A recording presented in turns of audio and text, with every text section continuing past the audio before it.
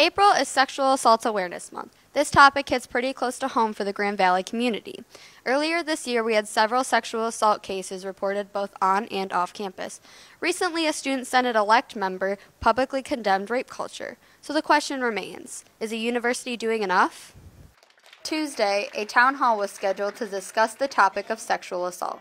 Prior to the event, a Student Senate electee made a post on Facebook saying, quote, rape culture isn't real. The electee was also a member of fraternity Kappa Sigma, who issued a tweet in response. Their initial tweet raised its own controversy and spurred a response from the rest of the group. And the whoever was in charge of the uh, public relations chair at the time apparently made an executive decision to say that on Twitter. And once the rest of us saw that, we were thinking like, that shouldn't have been said like that doesn't represent us as a whole. Like why would why would you say that? Afterwards the frat released an official statement on the situation. Members of the audience raised a series of concerns against the fraternity regarding their assumed culture.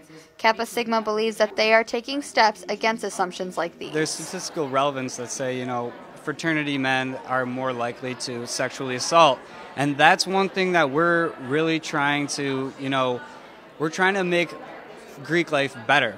We don't want our organizations to be characteristic of that. And even before the whole uh, social media case happened, we had a number of brothers that were planning on coming and uh, watching this event. Kappa Sigma isn't the only member of Greek life that felt pressure on the topic. All of the sororities and fraternities received a survey that some believed to have controversial questions in it that used strong language and made extreme behavioral assumptions. We partnered with an outside organization to bring in a, a Greek-wide, so we have about 1,800 members survey in addressing different uh, climates and cultures within the organization in an effort to better understand the needs of our community. Outside of Greek life, many in attendance had mixed opinions on the choices made by Student Senate. Some felt that they needed to be more vocal in denouncing the actions of the elected member. If people aren't here, how will they know that Senate, you know, disavowed this individual's statements? For all they know, he's still a part of Senate. Student Senate had this response. I think he's already faced a lot, to be honest. I was pretty encouraged by the amount of people that were trying to advocate against what he was saying already. Um, so I just want to say that that was very positive to see the amount of people that were denouncing it um, immediately after it happened, but I don't think that's in Student Senate's place to do that.